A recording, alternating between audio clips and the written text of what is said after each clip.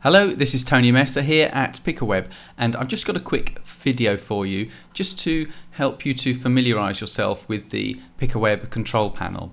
Now, I've logged in here, and the control panel is the main area where you will be able to um, administer your web hosting account. And the first thing I should point out to you is that here in the top right hand corner, guides and tutorials. If you have any problems whatsoever, click on there and you'll see that you'll be taken to a page which contains um, a whole load of different um, tutorial videos. So it shows you, for example, uh, how to use the control panel, all of the features there, how to set up um, your email addresses, um, and a whole range of different uh, applications that we provide for you. So um, it, as I say, if you have any if you have any um, any issues, just click on that guides and tutorials. You'll be taken straight there.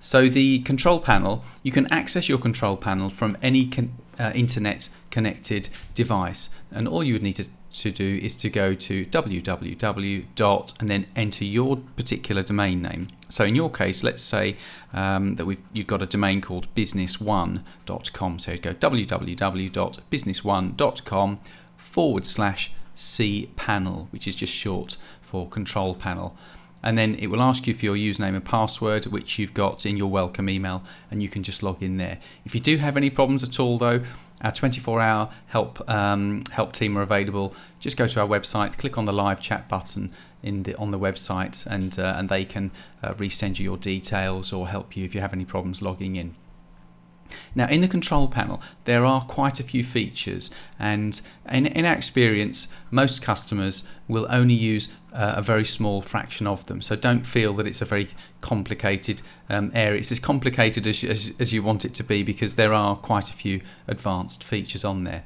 The main ones that I would draw your attention to are for example here under the mail section email accounts and this is where you can set up your email addresses. So here you just type in for example sales at and here will appear your particular domain name when you log in and then you just assign it a password which you just need to verify and click on create account. And then your uh, emails will appear here in a section um, beneath this this part here. And you can change passwords you can set the quota for each particular mailbox all that mailbox quota means is the amount of space you're allocating for each uh, email account that you set up. And by default, it will go to 250, but you can set it to whichever you want it to. Uh, in the mail section. Again you can set up things like email forwarders. For example if you've got a Gmail account or Hotmail account you can just set it to forward on there as well.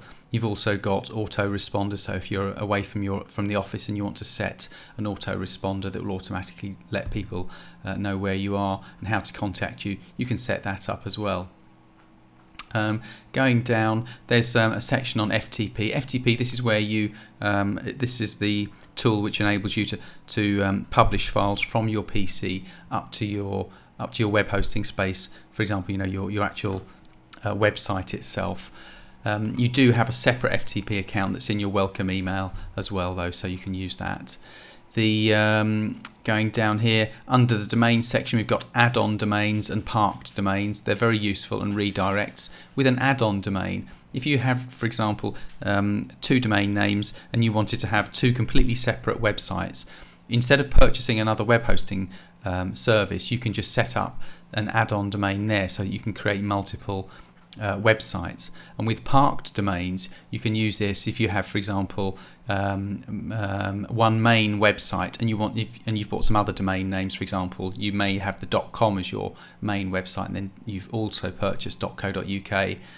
.net, .org or whatever it is and you want to redirect them through to the main website using a parked domain will enable you to do that and they're very very easy to actually set up Further down, we've got um, here RV Site Builder, which is one of the website building tools that we use, um, and then Soft, which um, is hard to pronounce, but click on here, and this will take you to a section where you, where we've got a whole load of really really great. Um, uh, pre pre-installed software for you to use, so you can you can you know set up blogs, um, e-commerce, and sort of shopping cart tools and that type of thing.